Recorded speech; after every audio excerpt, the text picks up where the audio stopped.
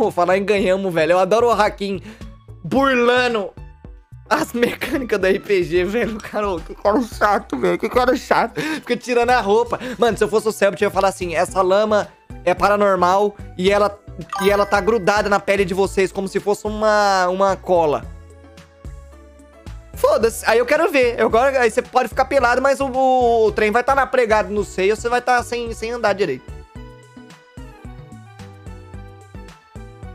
Arrancar a pele? Nossa, mano. Vai, vai fazer o ritual de descarnar nele mesmo pra arrancar o, a gosminha. Nossa, velho. Você vai comprar armadura na loja da Agatha? Fio, eu não acho nem que nós vai voltar pra loja da Agatha mais. Eu acho que ou nós morre, ou nós volta e acaba a temporada. Não tem mais o que comprar, entendeu?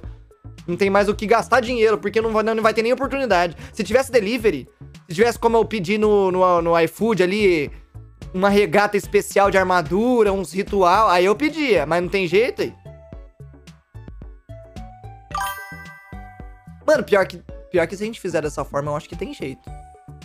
Tipo assim, ó, agora a gente tá naquela sala lá. Se a gente fazer o caminho inverso e voltar lá pra casa da mansão encapetada e, e chamar alguém, por exemplo, a Ivete pra trazer uns trem pra nós. Tem jeito de fazer isso. Eu só não sei se o Selbit vai gostar que a gente faça isso.